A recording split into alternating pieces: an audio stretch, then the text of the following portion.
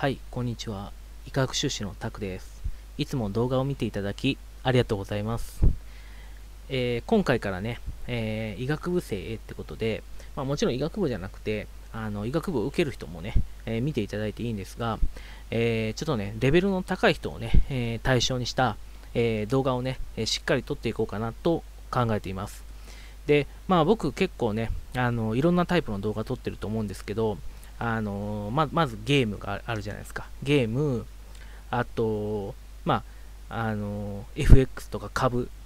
あと、そうですね、たまにね、原油についても言ってます。それ以外に、にやはりあの、まあ、本業であるね、この医学、医科学について、えーちょっとね、これからちょっと話していく分をこう増やしていこうかなと思ってます。で、えーまあね、僕ね、自己紹介ちょっと軽くするんですけど、えーまあ、僕ね、あの大学院で、あの医学部のね、大学院を出ています。なので、修士、かっこ医科学になっています。で、まあ、医科学なんですけど、あの生物じゃないんですよ。結構ね、あの頭の悪い人がね、えー何回もね、生物、生物だよ、みたいな、生物ですかみたいなこと聞くんですけど、あの生物じゃないんです。あの生物は、そのまあ、確かに一部いることはいるんですが、まあ、生物じゃないんですよ。医学なんですよ。まあ、このね、あのもうそこを言うんだけでめんどくさいんで、もうこうやって動画でね、あの言っておきます。えー生物ではありません。医学です。医科学ですね。まあ、研究内容っていうのは、まあ、大体ね、あの大学も大学院も医学の内容なんで、まあ、医科学っていうか、まあ、医学なんですけど、あ内容言っちゃったらね、あのバレちゃうんで、あの言いませんが、はい、になります。で、えーまあね、専門、専門も言っちゃうとバレちゃうんですけど、まあ、一通り全部わかります。一応だって医学やってるわけで、あのせまあ、一応全部わかります。あのなんだろう、あの最近よよくこの事例からやるのは細菌学が多いんですけど、細菌もわかるし、あのなんだろう、免疫もわかるし、うんあと何ある？えーまあ、生理学もわかるし、あと、まあ、いろいろわかりますよ。僕、何でも大体わかるんで、あの、何でもオールマイティにあの頭いいんで大丈夫ですね。あそうですね。臨床医学も基礎医学も一通り幅広くやってますね。なので、えーまあ、基本的に何でもいけちゃいます。はい。まあ、特にね、あの基礎と臨床をね、こう融合した、えー内容っていうのはすごくね、僕得意なんですよ。まあ、基礎医学も臨床医学もやってるから。なので、まあ、そういう観点から、えーこれからしっかりね、あの述べていければと思います。で前回ちょっとやったね、えー鹿児島大学病院のね、えーアシネトバクターに関する感染はね、ちょっと医学部生向けなんですよ。あの言ってる内容が。なので、あのちょっとね、他の人はね、聞いてても、はーってなっちゃうと思うんですけど、まあ、まあ、早稲田でも早慶でも無理かなっていう感じだと思います。まあ、ちょっと僕、若干簡単、若干というか、かなり簡単に言ってるんで、あのまあ、早慶ぐらいでも、まあ、分かる人も中にいるんじゃないかなっていうふうには思うんですけど、まあね、あの低評価が多いってことは、あの頭悪い人が多いっていうふうに、まあ、僕は捉えています。で、そうだな、その前にやったのが、あの鹿児島大学病院の、えーこれも感染症で、えー12月、ね、11月に流行った、えー緑膿菌のね、えー耐性菌、耐性菌ですね、についてもやりました。で、まあ、そういう感じで、なんかのね、えー例からね、こう学んでいこうっていうね、感じの、えー動画をね、ちょっとこれからやりたいなっていうふうに思って、ちょっと急遽、えーそれのね、あの、イントロダクションというかね、あのーなんだろう、導入というかね、をちょっと言っています。はい。まあね、僕の動画ね、あのレベルの低い人をね、いっぱい見るんでね、あのー本当に、あのーなんだろ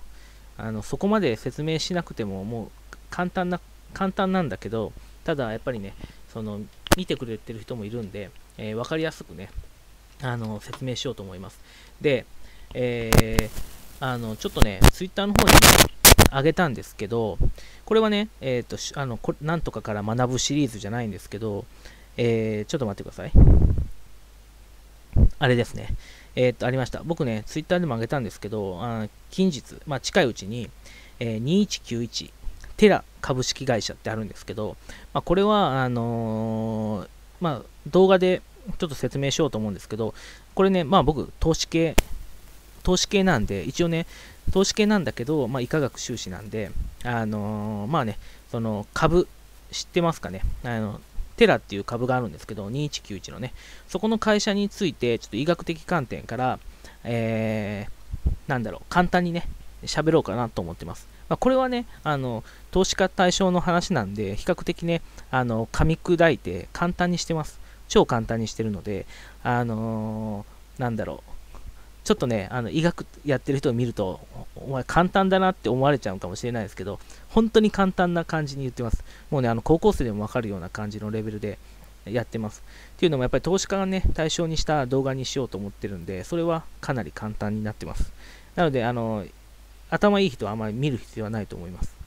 で、えー、まあ、そういうことで、投資家対象に向けた、ちょっとね、医学的な観点からの、えー、そのアプローチもちょっとやっていこうかなと思ってます。で、そうだな、その最初にちょっとテラっていう会社をやりたいんですけど、まあ、この会社っていうのは、あのまあ、株やってる人はね、あのまあ、もちろん知ってると思うんですけど、あのま、免疫療法をね、えー、のサービスを提供している会社になります。で、まあ、免疫療法って何っていうところも少しだけ簡単に説明しようかなとはまあ思ってるんですが、えー、まあ、ある程度皆さんもね、投資家も知ってると思うんで、まあ、若干簡単に、だけど、えー、大切な感じのところをね、えー、言って、まあ、どういうその、その株はいいのか悪いかとかね、えー、そういうのをね、ちょっと話せたらなと思ってます。だけど、低評価が多かったらね、これやらない可能性は高いです。あの僕のね、動画見る人ね、えー、結構学歴、学力の低い人が多いんで、まあ、結構ね、あのなんだろう、あのちょっとね、そういうね、学歴ある人に対して、ちょっとね、あの抵抗心を持ってやってる人が多いんで、えー、低評価が続いたら、もうね、あの、医学から見た、あの、株の話はやらないです。あの、いや、これ本当に大切で、みんなね、あの、経済とかね、経営とかそういうとこ出てるから、こうね、え医学的観点からね、えー、言う人って、まあ、あんまりいないじゃないですか。アドバイスする人っていうのは。なので、まあ、これは多分、すごい珍しい話になると思うんですが、まあね、えー、やっぱり、あの、低評価が多かったら僕もやりたくないなって思っちゃうんで、まあそのあたりは、あの、ちょっと頭悪い人に、えー、お前らバカかよって、まあ言っちゃった方がいいと思いますけど、まあそういうことで、これからそのやっぱり製薬会社とかね、あのベンチャーでもね、あの新しいね、えー、医学、医科学、えー、その他ね、えー、の関係のある会社についてちょっとね、言っていきたいんですけど、まあ、どうなることか。まあ、そっちが本業じゃないんでね、あの、まあ、僕の個人的な、まあ、意見も含まれちゃうんですけど、まあ、そういう意味で、えー、もあるんで、まあ、どうしようかちょっと考えてます。はい。ということで、ちょっとね、あのー、医学部生とね、あと投資家へ向けてね、えー、まあちょっと動画が長くなっちゃったんですけど、えー、最後までね、聞いてくれた人、本当にありがとうございます。で、チャンネル登録といいねと、あの、ぜひ、よろしくお願いします。これからもね、あの、有益なね、えー、情報をね、いっぱい発信していこうと思うんで、よろしくお願いします。はい。ありがとうございました。